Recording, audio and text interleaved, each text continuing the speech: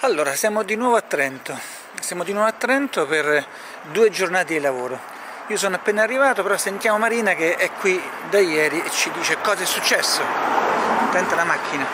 Sì, scusate nel frattempo.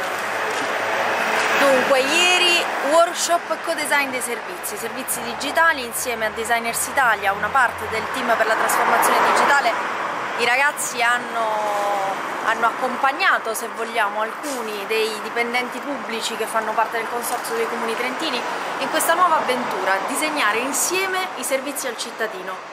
E oggi?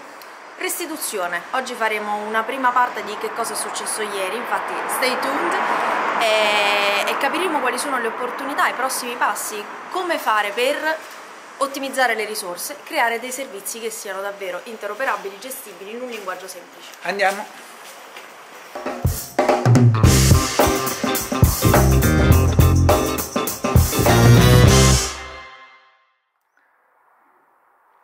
Walter, oggi siamo oh, qui al consorzio per lavorare più che parlare, per confrontarci. Cosa sta accadendo?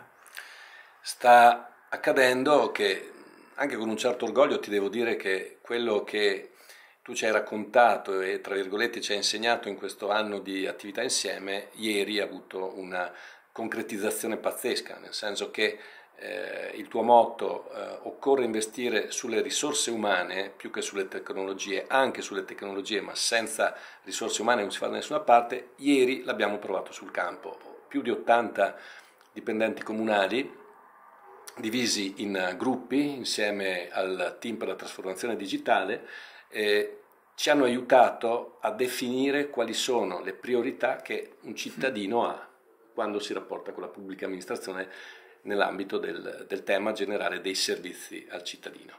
Quindi eh, oggi per noi è una giornata molto importante perché quello che abbiamo fatto insieme eh, ha trovato una dimostrazione concreta sul campo.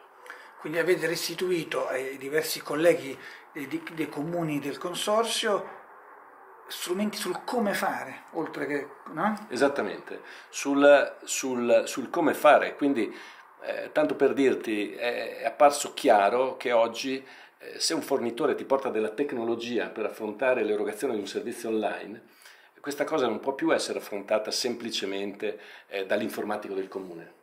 Cioè, certo. L'informatico del comune rimane indispensabile, Insomma, però chi lavora sul campo deve, deve metterci le mani, deve metterci la testa, deve dirti come quel servizio deve funzionare anche dal punto di vista tecnologico. Va bene, buon lavoro allora. Grazie, grazie Gianni. Allora Lorenzo, eh, siamo di nuovo qui a Trento, ma questa volta per lavorare, per fare laboratorio. Che cosa è accaduto e cosa accadrà? Che cosa è accaduto ieri e cosa accadrà oggi?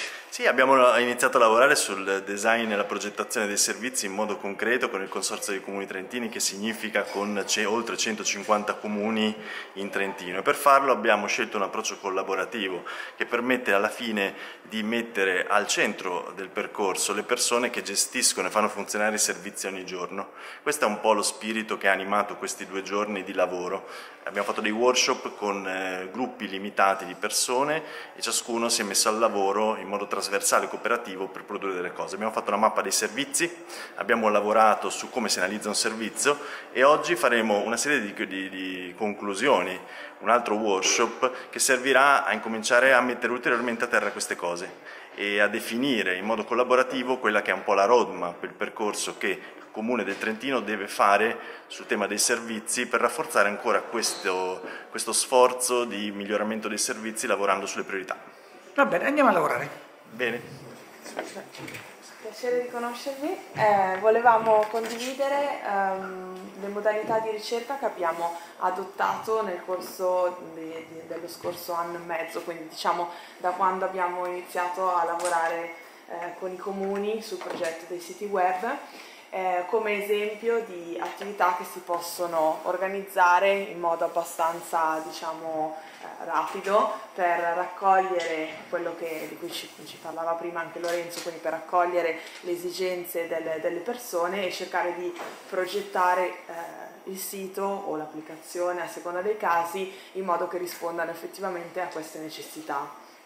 Eh, in, um, Il modello, come sapete, si ispira all'idea di avere un approccio eh, basato sulle esigenze del cittadino che noi su Designers Italia, il sito che racconta eh, questo approccio, abbiamo eh, visualizzato così, quindi il cittadino al centro e ci dobbiamo ricordare di fare riferimento alle sue esigenze e di rifletterle nel progetto in, diversi momenti. Sappiamo che i percorsi non sono sempre lineari, quindi a volte abbiamo la possibilità di andare a fare ricerca prima di impostare una, il progetto di una sezione, il progetto di uno specifico servizio, altre volte l'abbiamo già costruito e recuperiamo informazioni in un secondo momento. L'importante è creare un dialogo continuo e tenerlo sempre presente.